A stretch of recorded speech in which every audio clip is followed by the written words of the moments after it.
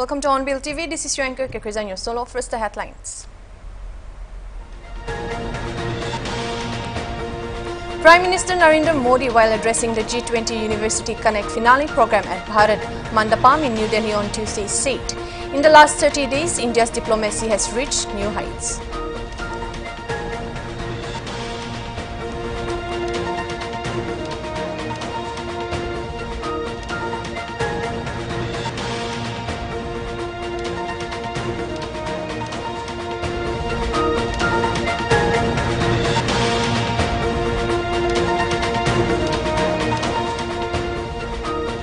At least 31 students were injured in a major scuffle which broke out between the students and the police on Tuesday when students came out in large number demanding justice for the two missing students whose photos surfaced on social media the day before.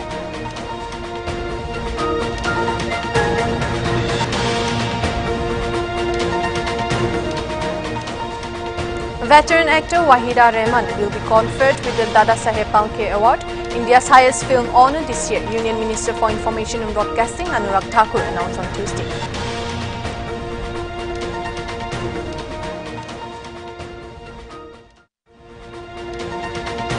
A minor girl of Dima Hasao, working for an army officer in Himachal Pradesh, was reportedly subjected to gruesome physical torture, exposing a case of child abuse.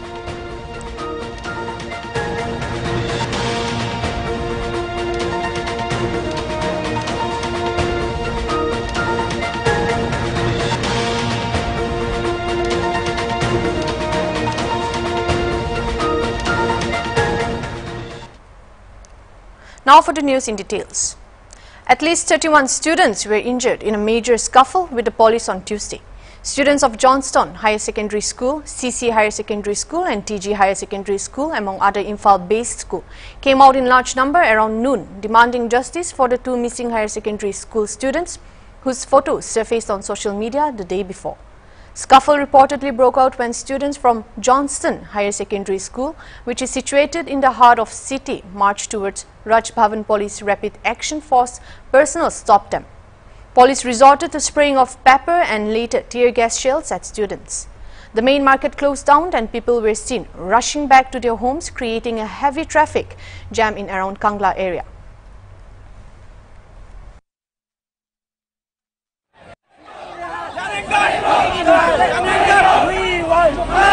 We want justice! No!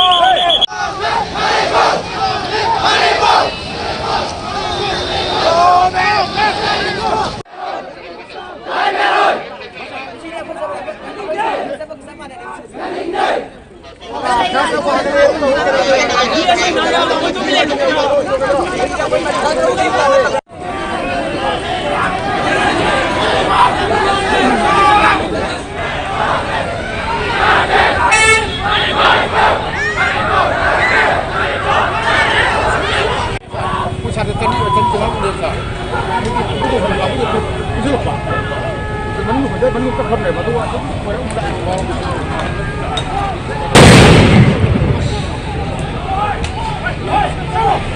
solo, solo.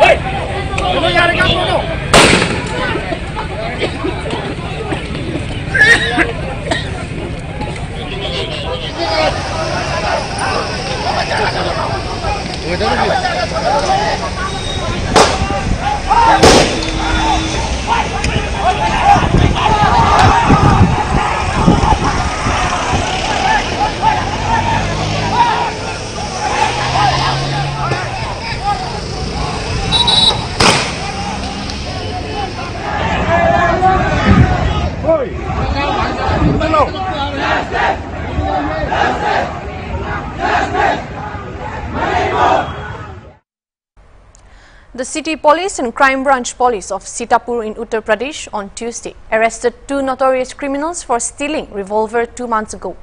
Police also seized cash worth 26,000 along with the stolen revolver from their possession. ये सातवें महीने में कोतवाली नगर सीतापुर क्षेत्र में दो वारदात हुई थी एक नकबजनी की जिसमें एक लाइसेंसी रिवॉल्वर की चोरी हुई थी और एक लूट की घटना हुई थी जिसमें एक लड़की जो रास्ते पे जा रही थी, उसका मोबाइल छीन करके लुटे लुटेरे गए दोनों प्रकरणों में सुसंगत धाराओं में अपराध पंजीकृत किया गया था और इस घटना का आज खुलासा हुआ है, जिसमें सीओ सिटी की नेतृत्व में एसएचओ खैराबाद, एसएचओ रामकोट और एसएचओ कोतवाली की टीम के द्वारा कार्य किया गया।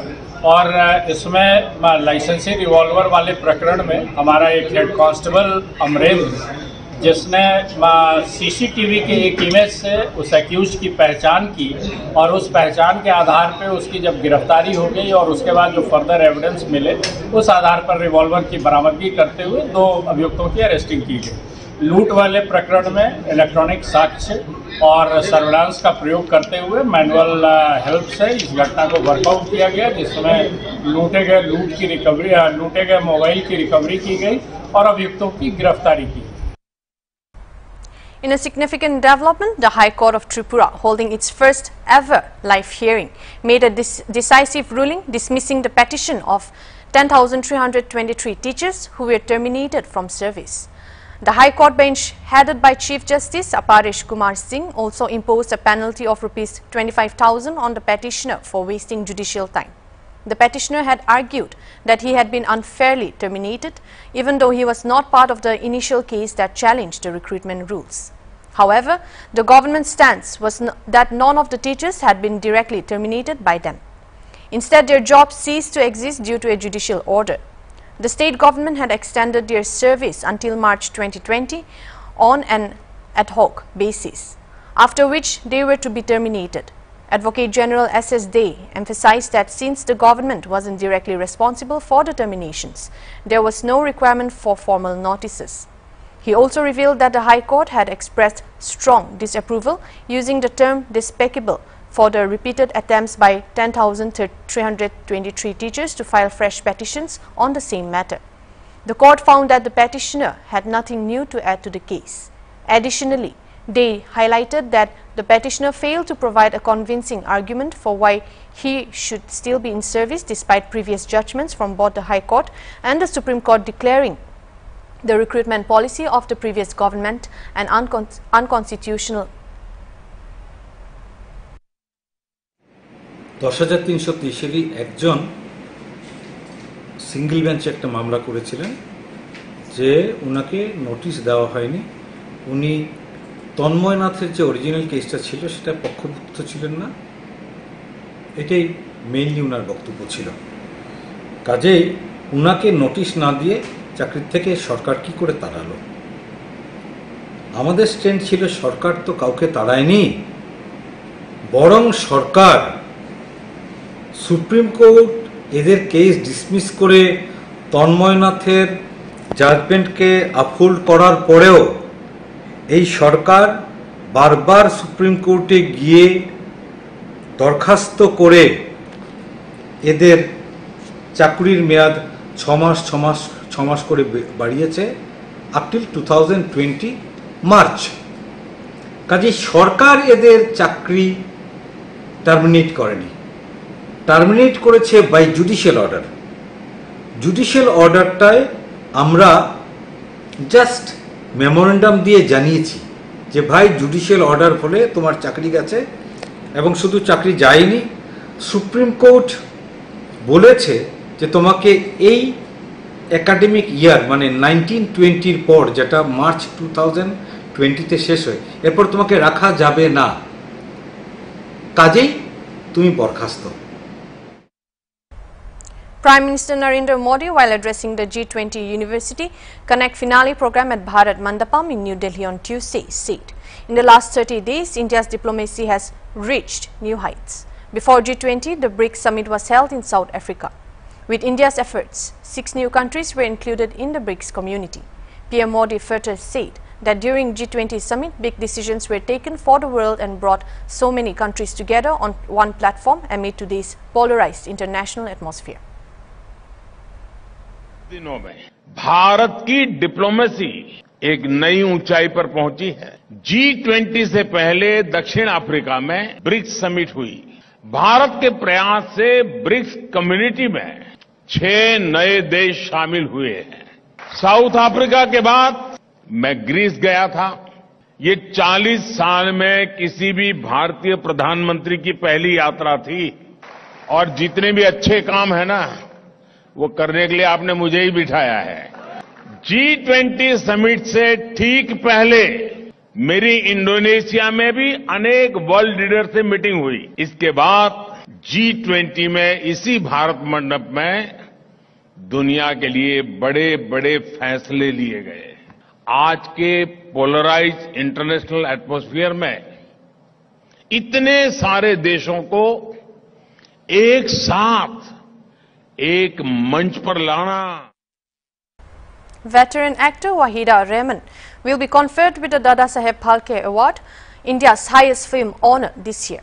Union Minister of Information and Broadcasting Anurag Thakur announced on Tuesday. Rehman, 85, is a touring legend of Indian cinema known for iconic roles in films like Guide, Pyasa, Kagas, Sahib Bibi or Gulam, Chodvin Ka Chand and numerous others. In a career spanning over six decades, she has been honored with multiple prestigious awards including the Padma Shri and the Padma Bhushan, India's fourth and third highest civilian awards respectively. She is also a recipient of a National Film Award for Best Actress. करिए और मुझे ये अच्छा लग रहा है कि ये गवर्नमेंट का बहुत बड़ा अवार्ड है वो जब कभी जो जो भी चीज़ प्यार से इज़्ज़त से, मोहब्बत से देते हैं, उसमें ज़्यादा मज़ा आता है। और मैं शुक्रगुजार हूँ, आईबी मिनिस्ट्री ठाकुर अनुराग ठाकुर जी का, और पूरे जितने भी जूरीज होंगे, उन्होंने मुझे चूज़ किया, इसकी मैं बहुत शुक्रगुजार हूँ और बहुत खुश हूँ। For a short break. We'll be back with more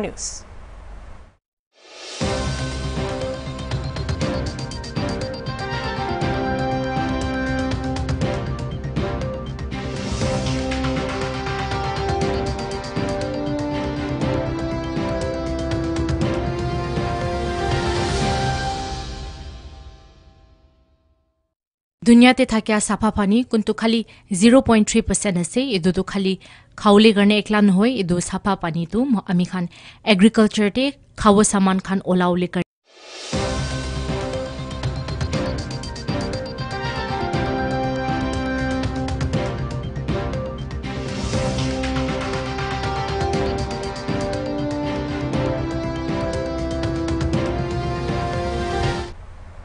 Welcome back. Moving on to the next news. A computer operator posted and LDA reportedly committed suicide in Lucknow on Tuesday, following harassment by the LDA VC. Late Santosh Jaishwal's wife had accused the LDA VC Indramani Tripathi of abetting suicide of her husband by mentally harassing him for past several days. Here's a detailed report from Hornbill TV's UP Bureau Chief Akash Divedi. Sir, मैं 2001 से हूँ। Sir, Hemchand Tiwari. Sir 2001 से computer operator की post पे job कर रहा हूँ, sir, मैं। और वो भी पहले मैं, हम लोग सोचे, मैं संविदा पे हूँ। बाद में चला, हम लोग आउटसोर्सिंग पे हैं। तो सर, हम लोग इतने सालों से, तेईस साल से काम कर रहे हैं। अभी तक लखनऊ विकास प्राधिकरण में ऐसा कुछ भी नहीं हुआ जो अब हो रहा है। गाली वाली देख के उन्होंने हटाया, जिसके प्रभाव में आप खुद देख रहे हैं कि उन्होंने रात में सुसाइड कर लिया है। हम लोग सत्तर एम्प्लाई हैं, सत्तर एम्प्लाई हैं जो आउटसोर्सिंग के थ्रू पे माननीय मुख्यमंत्री जी, माननीय प्रधानमंत्री जी तो कहते हैं कि आउटसोर्सिंग वालों को नहीं हटाया जाएगा, उनको ये होगा, उनका, उनको ये नहीं पता ये मेरे लखनऊ विकास प्राधिकरण में क्या हो रहा है। लखनऊ विकास प्राधिकरण में इंद्रमणि त्रिपाठी जी अपना मनमाना कर रहे हैं और कुछ नहीं हो रहा है। वो सभी ऑपरेटरों को धीरे धीरे करके निकाल रहे हैं और वो जो है अपने ऑपरेटरों को रखना चाह रहे हैं। हम लोग से यही कहना है कि जितने लोग हैं भाई लोग, सबकी तरफ़ से यही कहना चाहता हूँ कि इंद्रमणि त्रिपाठी जी को लखनऊ विकास प्राधिकरण से हटा दिया जाए और सभी के प्राणों को बचा लिया जाए। वो किसी से बात नहीं करना चाहते, कोई भी ऑपरेटर उनसे बात करना चाहते तो कहते हैं, अपने पीए को, जो कि पीए रिटायर हो चुके हैं, मिस्टर अतुल कपूर जी, उनको पर्सनल अपने पास रखे हुए हैं, जबकि वो रिटायरमेंट हो चुके हैं। फिर भी वो अपने पास रखे हुए हैं, क्योंकि उन्हीं द्वारा अपना काम वो सारा कराते क्या किया है मेरा नाम मालती है, मैं संतोष की बीबी हूँ। और मेरे हस्बैंड जो है एलडीए में ऑफ़िस में काम करते थे, जो दस दिन से काफ़ी टॉर्चर थे वो तो मैंने उनसे काफ़ी बार बार पूछने पर उन्होंने मुझे बताया कि एक बीसी हैं, इंद्रमणि त्रिपाठी। वो काफ़ी फस्टेज कर रहे हैं और दस दिन से वो परेशान कर रहे हैं। तो मैंने कहा अच्छा कल तो उन्होंने हद पार कर दी बीसी ने, इंद्रमणि त्रिपाठी ने। भगाया है कुत्ते के तरीके मेरे हस्बैंड को। भगाया है, कभी कहता निकाल देंगे, कभी कहता कुछ, कल तो उसने हद पार कर दी, निकाल दिया और उसके बाद मेरे हस्बैंड टिफ़िन ले गए थे, उन्होंने खाया भी नहीं टिफ़िन जब मैंने उनसे पूछा, तब उन्होंने बताया कि इंद्रमणि त्रिपाठी का नाम बताया मुझे, कि वो बहुत टॉर्चर कर रहा था। उसी की वजह से उन्होंने सुसाइड कर लिया है। और मेरे हस्बैंड अकेले थे। जो मेरी सास हैं, बूढ़ी, अस्सी साल की है। मेरे दो बच्चे हैं, जो नाबालिग हैं। मैं हाउस वाइफ हूँ। अब मेरा घर कौन चलाएगा उसकी ज़िम्मेदारी डिपार्टमेंट की है। मैं इंसाफ चाहती हूँ बस। हाँ पुलिस कंप्लेन हो गई है। अब क्या पुलिस एक्शन लेती है वो मुझे तो अभी नहीं पता। बस आप ही लोग का आप लोग का ही सहारा है आप लोग इंसाफ दिलाइए। अभी इंसाफ नहीं मिलता है। तो मैं और मेरे दोनों बच्चे मेरी बूढ़ी सास अस्सी साल की जो है हम लोग सुसाइड खा ले, कर लेंगे, कुछ खा के मर जाऊँगी, ठीक है? क्योंकि अब मेरे पास कोई विकल्प नहीं बचा है, जिससे मैं अपने घर का पालन पोषण कर सकूँ, क्योंकि मेरे आदमी ने तो सुसाइड कर ली है, जो एलडीए की बीसी ने उनसे करा दिया है। तो अब मेरे पास कोई रास्ता बचा नहीं, सिर्फ़ एक रास्ता है। इसी को मैं अपनाऊँगी, अगर मुझे इंसाफ नहीं मिला तो। हमसे तो अभी तक कोई बात ही नहीं करी है। उसने तो मेरे हस्बैंड को भगाया है, बाकी उसने कोई नहीं बात किया। मैंने अपने हस्बैंड से बोला भी कि मैं चल के अगर कोई ऐसी बात ना बने तो मैं चलूँगी, मैं बात कर लूँगी बीसी से। मेरे हस्बैंड ने बोला, नहीं, मैं ठीक कर दूँगा। ना जाने उसने क्या किया है जो मेरे हस्बैंड ने सुबह फांसी लगा के डेथ कर सुसाइड किया है। राजधानी लखनऊ का लखनऊ विकास प्राधिकरण और प्राधिकरण के वीसी इंद्रमणि त्रिपाठी एक बार फिर से सवालों के कटघरे में सामने नज़र आ रहे हैं। यूँ तो इंद्रमणि त्रिपाठी के ऊपर कई किस्म से पूर्व में भी आरोप लगते हुए चले आए। उन आरोपों में जमीनों पर कब्जा करना कागजों में हेर फेर करने के साथ ही कई धांधली के साथ अपने नाम पर जमीनें कर लेने का आरोप इंद्रमणि त्रिपाठी के ऊपर रहा तो लेकिन वहीं ताज़ा मामला आज इंद्रमणि त्रिपाठी पर यह लगा है, क्योंकि एक व्यक्ति ने खुदकुशी कर ली है, आत्महत्या कर ली है, और उसकी पत्नी ने सीधे तौर पर आरोप लगाया है कि एलडीए वीसी, यानी लखनऊ विकास प्राधिकरण के वीसी, इंद्रमणि त्रिपाठी की गाली गलौज और नौकरी से जाने की लेकर क्षुब्ध, यानी आहत होकर इस व्यक्ति ने मौत को अपने गले लगा लिया है। दरअसल संतोष जायसवाल नाम के एक व्यक्ति ने आज फांसी लगाकर आत्महत्या कर ली, जो कि लखनऊ विकास प्राधिकरण में कंप्यूटर ऑपरेटर के पद पर यहाँ तैनात था। बताया जा रहा है कि 70 से ज़्यादा की संख्या में कंप्यूटर ऑपरेटर के पद पर यहाँ पर ऑपरेटर से नियुक्त थे, जिनको यह बताया गया कि वो संविदा पर यहाँ पर नौकरी पर हैं। लेकिन बाद में उन लोगों को मालूम पड़ा कि वो आउटसोर्सिंग पर यहाँ पर नौकरी पर हैं, जिसके साथ ही दो लोगों को पहले यहाँ से नौकरी से निकाला गया, जिसके बाद संतोष जायसवाल को भी नौकरी से निकाल दिया गया। जिसके बाद संतोष जायसवाल कल देर कल देर शाम वीसी इंद्रमणि त्रिपाठी से मिलने के लिए उनके कार्यालय भी पहुँचे हुए थे, जहाँ पर उनकी पत्नी ने आरोप लगाते हुए ये बताया है कि वीसी ने काफ़ी ज़्यादा गाली गलौज करते हुए और उनको, यानी संतोष जायसवाल को यहाँ से भगा दिया, जिससे क्षुब्ध होकर संतोष जायसवाल ने मौत को गले लगा लिया है। फ़िलहाल एक बार फिर से एलडीएवीसी इंद्रमणि त्रिपाठी सवालों के कटघरे में पूरी तरीके से साफ़ नज़र आ रहे हैं। उनके ऊपर आउटसोर्सिंग के कंप्यूटर ऑपरेटरों ने यह भी आरोप लगाया है कि वीसी के कोई जानने वाले हैं जो कि नोएडा में उनकी फर्म है और वहाँ के लोगों को नौकरी देने के लिए यहाँ पर पहले से तैनात कंप्यूटर ऑपरेटरों को नौकरी से निकाला जा रहा है। फ़िलहाल संतोष तो मौत के आगोश में समा चुके हैं, लेकिन इस पूरे घटनाक्रम की सच्चाई क्या है, इससे पर्दा कब उठेगा? ये अपने आप में एक सवाल उभर कर लगातार सामने आया है। लेकिन जिस तरीके से संतोष जायसवाल की पत्नी मालती लगातार आरोप लगा रही हैं और उनके साथ ही कंप्यूटर ऑपरेटर के पदों पर नियुक्त यहाँ पर कई लोग भी आरोप लगा रहे हैं कि एक एक करके सभी की नौकरी चली जाएगी और वो लोग बेरोजगार हो जाएँगे। तो ऐसी तरीके से उनकी रोज़गार बनी रहे और आखिरकार इस आत्महत्या के पीछे की वजह क्या है? इन सभी बातों पर पर्दा वक्त के साथ साफ़ हो जाएगा। वीडियो जर्नलिस्ट शहनवाज के साथ Akash Dwivedi, Hornbill TV, Lucknow. Moving on to the next news, we have the Union Minister of State for Petroleum and Natural Gas, Labour and Employment Rameshwar Telly on Tuesday addressed a press conference during the ninth tranche of Rosgar Mela for Northeast region at Imli Younger Memorial Centre, Hall in Dimapur. He said Rosgar Mela is being held at around 50 places and three in Northeast, where over 51,000 youths are being handed appointment letters. He informed that in Dimapur, a number of youths have been given appointment letters in different departments, including health, FCI, postal and education department. हमारे युवाओं को हम सिर्फ नौकरी के द्वारा ही उसकी रोजगार दें ऐसा नहीं है क्योंकि हर एक सेक्टर में जैसे प्रधानमंत्री ने सत्रह तारीख विश्वकर्मा पूजा दी और उस दिन प्रधानमंत्री विश्वकर्मा योजना के तहत एक लाख और दो लाख देने की घोषणा की है, उसमें भी काम चल रहे हैं। इसी तरह से भारत सरकार काम कर रही है। मैं विशेषकर धन्यवाद देता हूँ। हमारी आज की जो एक सौ ग्यारह लोगों को जो हमने नियुक्ति पत्र वितरण किए जिसमें सबसे ज़्यादा हमारी पोस्टल डिपार्टमेंट था, नाइन्टी फोर। युवा और युवती को आज नियुक्ति पत्र दिया गया है। विशेषकर मैं पोस्टल डिपार्टमेंट को धन्यवाद देता हूँ, हमारी हेल्थ डिपार्टमेंट को धन्यवाद देता हूँ, व्यवसाय को धन्यवाद देता हूँ, हमारे एजुकेशन डिपार्टमेंट को धन्यवाद देता हूँ और खूब अच्छी तरह से आज अपन में वितरण किए गए प्रधानमंत्री माननीय नरेंद्र मोदी जी ने कहा था कि 10 लाख युवाओं को नौकरी देंगे और उसी के तहत हर एक महीना रोज़गार मेला किया जाता है। और इस बार आज की तारीख 26 तारीख को